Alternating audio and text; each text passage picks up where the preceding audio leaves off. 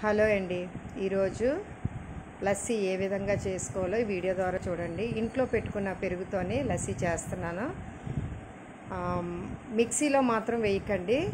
మిక్సీలో వేస్తే అది పల్చగా వచ్చేస్తుంది.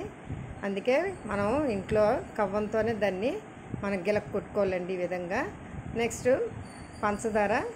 ఇదిగోండి ఒక మూడు గరిటెలు వేసుకోవచ్చు. మూడు కన్నా ఎక్కువ వేసుకున్నా పర్వాలేదు. లస్సీ అనగానే స్వీట్.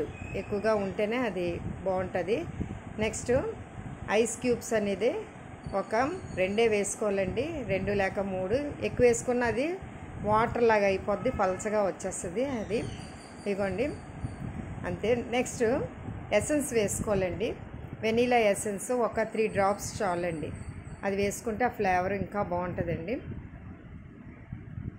ఇదిగోండి ఎసెన్స్. ఎందుకంటే ఇవి కేక్ తయారు చేసినప్పుడు ఇవన్నీ వేస్తాం కదా మన ఇంట్లో ఎప్పుడు పెట్టుకోవాలి అది. ఇదిగోండి ఫ్రిడ్జ్లో పెట్టుకోవాలండి అది ఎప్పుడు కూడా. అంతేనండి. ఇవన్నీ మేము టేస్ట్ చేసిన తర్వాతే బాగుంది అంటేనే మేము వీడియో చేస్తామండి లేకపోతే చెయ్యం. ఇగోండి జీడిపప్పు కిస్మిస్ పళ్ళు బాదం పప్పు ఇంకా ఏ నట్స్ ఉన్నా వేసుకోవచ్చు. అవి చిన్న చిన్న ముక్కలు కట్ చేసి దానిపైన వేసుకోవాలండి. ఎందుకంటే ఇది హెల్దీ డ్రింక్ అండి. ఇది నేను పెద్దోళ్ళకైతే నేను చెప్పను కానీ ఇది పిల్లలకి మాత్రం చాలా హెల్దీ డ్రింక్ అండి. పెరుగన్నము ఇవన్నీ కూడా పెడుతూ ఉంటారు కదా ప్రత్యేకంగాను.